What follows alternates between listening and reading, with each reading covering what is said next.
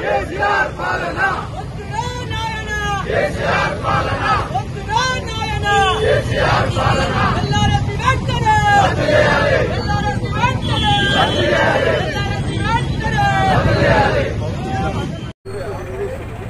కేసీఆర్ బంగారు తెలంగాణ అని చెప్పుకుంటూ మొత్తం తెలంగాణ చేసి ఈరోజు ఎన్ఆర్ మనం అందరం దేశం మొత్తం కరోనా అవసరపడుతుంది వ్యాపారాలు లేక పేద ప్రజలు కానీ ప్రతి ఒక్కరు ఏమి లేకుండా ఉండదు అవసరపడుతుంటే తీసుకొచ్చి ఇవాళ ఎల్ఆర్ఎస్ కట్టమని చెప్పడం పంతొమ్మిది వందల డెబ్బై ఎనిమిది గ్రామ పంచాయతీ లేవర్ చేసింది ఈరోజు ఎల్ఆర్ఎస్ కట్టమంటే ఎంతవరకు సంబంధించింది కేసీఆర్ ప్రతి నెల బంగారు తెలంగాణ చెప్పుకుంటాము ప్రతి నెల మనము తెలంగాణ పన్నెండు వందల ఇరవై నాలుగు కోట్ల రూపాయలు మనము అప్పు కట్టవలసి వచ్చింది వడ్డీ కట్ట కట్టే పరిస్థితి ఉంది ఆ వడ్డీ లేక ఇలా ఏం చేసినట్టు ఎల్ఆర్ఎస్ అనే ఒక స్కీమ్ తీసుకొచ్చేసి ప్రజల మీద రుచుతున్నాడు ఎల్ఆర్ఎస్ స్కీమ్ని వెంటనే రద్దు చేయాలని ఆల్రెడీ కాంగ్రెస్ పార్టీ తరఫు మా ఎంపీ కొమ్మటి వెంకటరెడ్డి గారు కోర్టులో వేసారు ఆ కోర్టులో వేసిన భయంతో కేసీఆర్ గారు మళ్ళీ ఏం చెప్పాడు? కేటీఆర్ గారు అసెంబ్లీలో కొంత వెనుకకి తగ్గి తగ్గిస్తానని చెప్పాడు.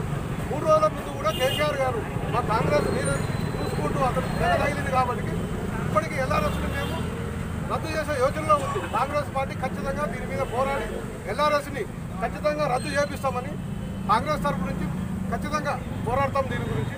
వక్సుబాటు ల్యాండ్ వక్సుబాటు ల్యాండ్ అయ్యా కేసీఆర్ గారు డెబ్బై నాలుగు వేల ఎకరాలు ఉంది ఎక్స్లాండ్ అని చెప్పేసి అసెంబ్లీలో చెప్పాడు.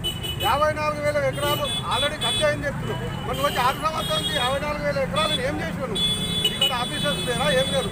తొంభై ఐదు శాతం ఆల్రెడీ వక్సుబాటు ఉన్న ల్యాండ్ బీదవాడు ఇల్లు కట్టుకున్నాడు.